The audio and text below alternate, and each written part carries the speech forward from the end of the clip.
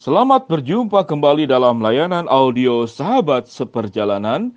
Hari ini adalah hari Jumat 6 November 2020.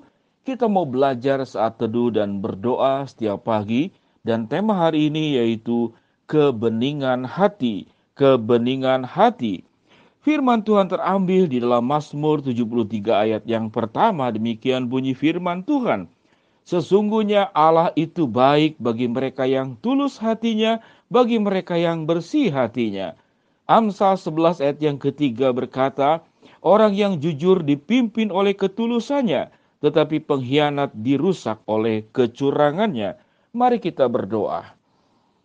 Bapa yang di dalam sorga kami belajar di tengah-tengah dunia yang kotor, yang rusak, yang penuh dengan berbagai macam sampah kehidupan kami menjadi orang-orang yang sulit mencari orang-orang yang hidupnya dalam kebeningan, di dalam kejernihan, di dalam ketransparanan, luar dan dalam nampak sama dan tidak ada penipuan dan kepalsuan di dalamnya.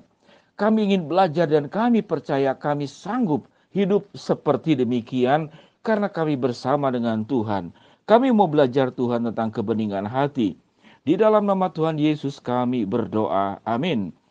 Sahabat seperjalanan yang dikasih Tuhan tentang kebeningan hati memiliki dua unsur, yaitu ketulusan dan kejujuran. Orang yang tulus dan jujur, maka saya kategorikan sebagai orang yang kehidupannya itu bening. Mari kita berbicara tentang bening. Bening itu kalau air yang bening, air yang jernih, maka itu sampai kelihatan pada bagian dalam-dalamnya.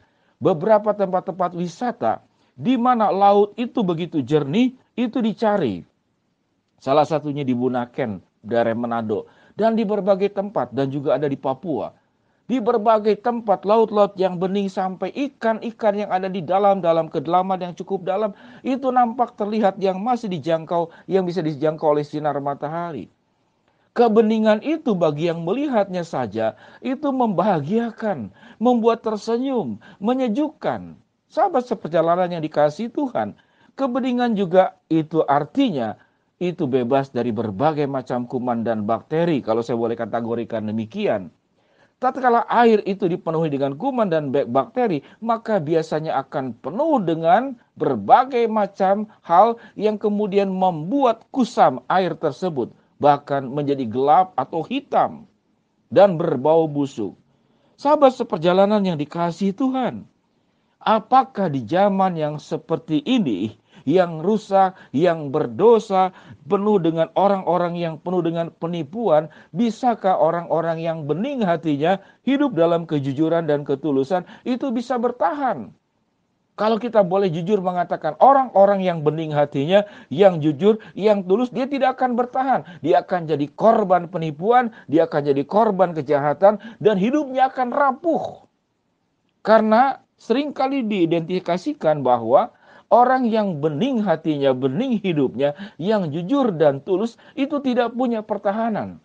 Sangat mudah untuk dihancurkan. Sehingga menjadi pertanyaan, apakah kita bisa hidup di dalam kejujuran dan ketulusan dan kebeningan hati di tengah-tengah dunia yang sudah suram, yang sudah kusam, yang penuh dengan sampah, yang penuh dengan dosa, yang penuh dengan kotoran. Bisakah kita bertahan?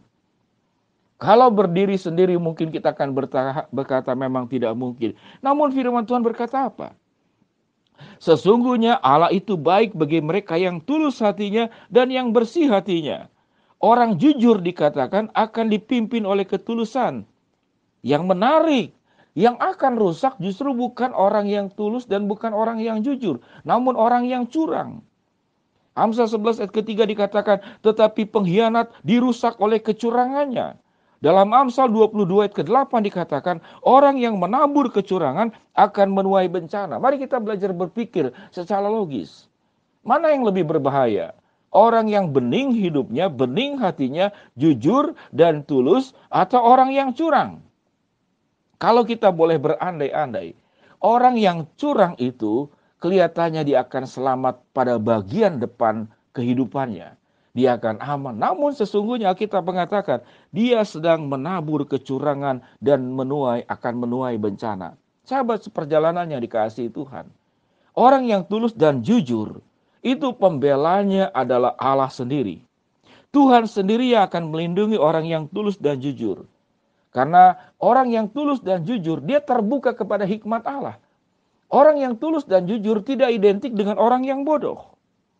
Orang yang tulus dan jujur, dia terbuka kepada Allah. Sewaktu dia terbuka kepada Allah, Tuhan akan menurunkan hikmat bijaksana. Dan Tuhan juga dengan kuasanya akan melindungi, menolong, menjaga.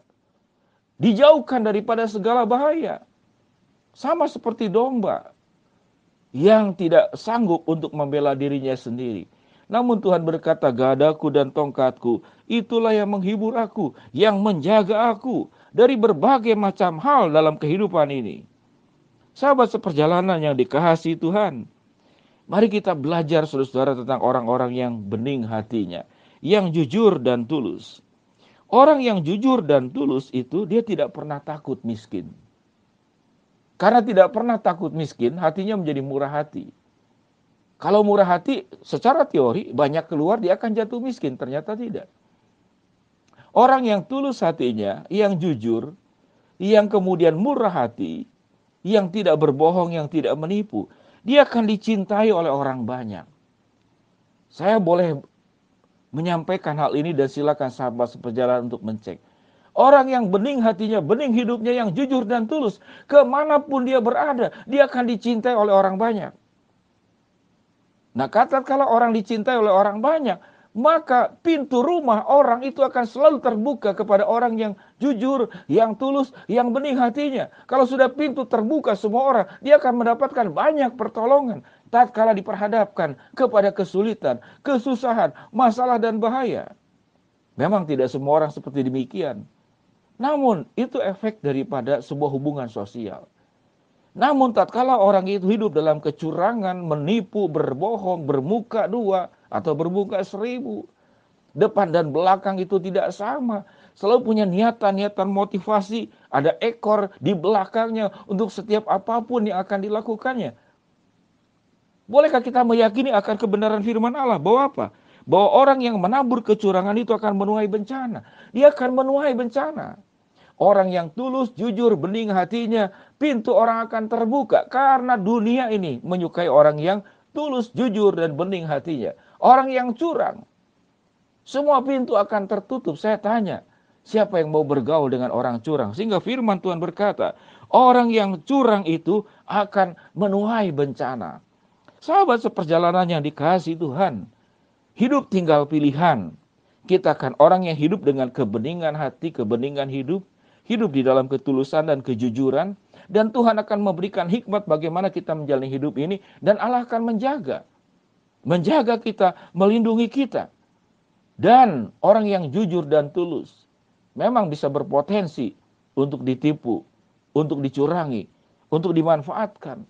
Namun ada proteksi Allah dan hikmat Allah yang membuat orang jujur pun bisa membaca bahaya dan menghindari bahaya dan tidak masuk dalam perangkap daripada orang-orang yang curang. Sahabat seperjalanan yang dikasih Tuhan, pilihan kita. Apakah kita akan hidup di dalam kebeningan hidup, kebeningan hati, di dalam ketulusan dan kejujuran, atau di dalam kecurangan? Firman Tuhan berkata Amsal 11 ayat 3, orang yang jujur dipimpin oleh ketulusannya, tetapi pengkhianat dirusak oleh kecurangannya. Orang yang menabur kecurangan itu akan menuai bencana. Mazmur 73 ayat pertama, sesungguhnya Allah itu baik bagi mereka yang tulus hatinya dan bagi mereka yang bersih hatinya. Mari kita berdoa. Bapak yang di dalam sorga, hambamu berdoa buat sahabat seperjalanan yang sedang sakit di rumah sakit ataupun di rumah Tuhan jamaah Tuhan sembuhkan. Bagi sahabat seperjalanan yang sedang menghadapi bahaya, masalah, kesulitan, dan tantangan dalam hidup ini, Tuhan bukakan jalan. Bagi sahabat seperjalanan yang sedang memohon berharap sesuatu, Tuhan akan kabulkan dengan cara, waktu, dan sesuai dengan kehendakmu. Tolong kami ya Tuhan, semua sebagai sahabat seperjalanan. Kami belajar hidup di dalam kebeningan hati, kebeningan hidup, di dalam ketulusan dan kejujuran. Hikmat Tuhan yang akan membuat kami terjauhkan dari berbagai macam perangkap-perangkap kejahatan orang-orang di sekitar. Dan Tuhan akan melindungi kami semua. Kejujuran, kebeningan, ketulusan, kehidupan yang akan membahagiakan kami dan memuliakan Allah di atas apa yang kami kerjakan kami akan menjadi orang yang paham bagaimana menjadikan hidup kami dengan benar di hadapan Tuhan dalam kebeningan hati, kebeningan hidup dalam kejujuran dan ketulusan. Di dalam nama Tuhan Yesus kami berdoa. Amin. Shalom sahabat seperjalanan, tetap hidup sebagai orang yang jujur, yang tulus dalam kebeningan hati dan kebeningan hidup. Shalom Tuhan berkati kita semua. Amin.